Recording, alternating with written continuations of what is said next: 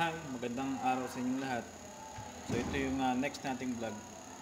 Yung vlog na to ay turuan natin kayo mag-network ng dalawang computer using a crossover cable. Crossover cable po is combination of T568A and T568B wiring guide. Doon po yun sa LAN network natin. Sa mga previous videos natin, nandoon na naka-indicate or instruction on how to create a network cable. So, ito lang po kailangan natin. Yan. Right. So, for this demonstration, meron tayong uh, dalawang computer. Personal computer. Windows 10. Ayan po. Alright. Ang ating gagawin, kakabit natin yung LAN cable natin sa Ethernet port, Ethernet port ng dalawang uh, computer.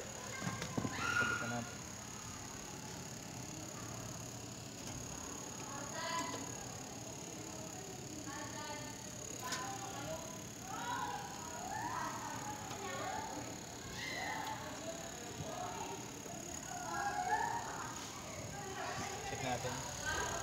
Ayun. Ayun yung ilaw.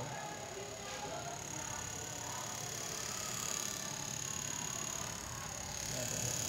Ayun. Pag umiilaw yung ah, Ethernet port, ibig sabihin may possibility na may maganda yung pagkagawa ng cable natin. By the way, pag magkoconnect tayo ng dalawang computer, may tinatawag nating peer-to-peer networking, kailangan natin gamitin is um, crossover cable. So start tayo. Ang gagawin natin dito, since since peer-to-peer network ang gagawin natin, ang gagawin natin ay ayusin natin yung IP address na static. Static IP address, ibig sabihin, tayo yung magsaset ng IP address. Sorry. Ayan. Sundan nyo lang yung video para alam natin kung paano ayusin. Change adapter. Right click. Properties. Ayan.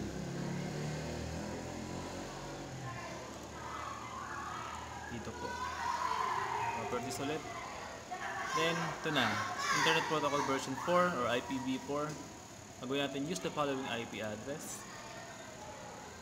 By default, nagamit tayo ng ah, type C. Right. So, na- 192.168.1.1 Ayan. Click lang natin subnet mask para automatic mag-generate yung ah, default subnet mask. Gateway, ignore natin yan. Press OK. Yes. Next, doon naman tayo sa kabilang PC. Kabilang PC, meron tayong 192.168.1.1. Ito naman, ibayin natin. Same procedure lang po. Ayan. Use the following IP address. So instead na 192.168.1.1, ang gagawin ko .2.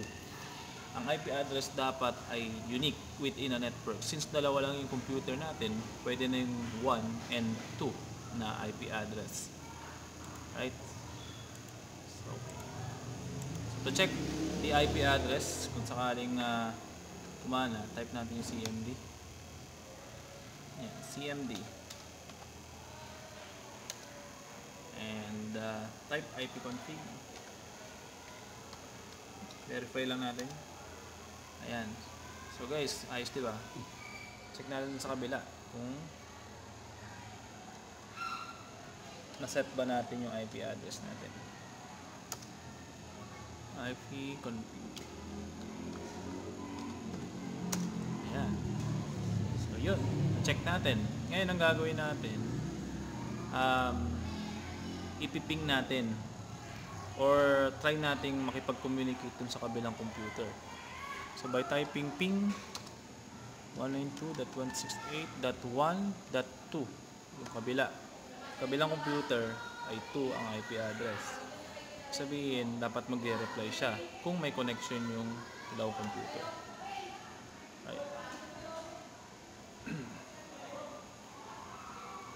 Kita nyo, request timeout. Alright, sige. Cancel na natin. Ibig sabihin, hindi tayo makapag-communicate sa kabilang computer. Ang una nating gagawin sa networking is to turn off the firewall. Ganito lang. Firewall at CPL. Yan.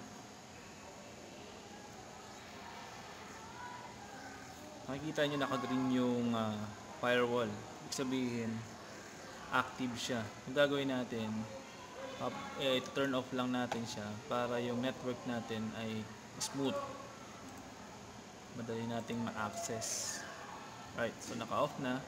Meron din sa kabilang computer. Turn off lang natin yung firewall. By typing firewall.cpl into the run dialog. Yan. So naka-on din po dito. Turn off lang natin. Turn off, turn off. Ayan, press OK. Right. So try natin ulit mag-ping. Dito sa kabila. Same um, command. Ping 192.168.1.2. Ayan po. Enter natin. Kita nyo po, nagre-reply na siya. Ibig sabihin, ina-allow na ng network to communicate from one another. Tinanggal natin yung firewall. Yun, siya yung nagbablock ng um, network natin. Nagpo-prohibit siya. Naman natin ang network, pwede tayo makapag-transfer ng viruses through network. So, yun. So, once na meron ng uh, connection, dito naman try natin. Ping 192.168.1.1 Yun yung IP address nitong kabilang computer. So, yan. So, try natin kung makakapag-communicate din tayo sa kabila. Ayan. So, nag-reply siya. So, yun lang po. Once na may connection yan, pwede na tayong mag-share ng folder, mag-share ng printer within a network. Especially, doon sa ginawa natin ay peer-to-peer networking. So guys, thank you very much and see you on the next video.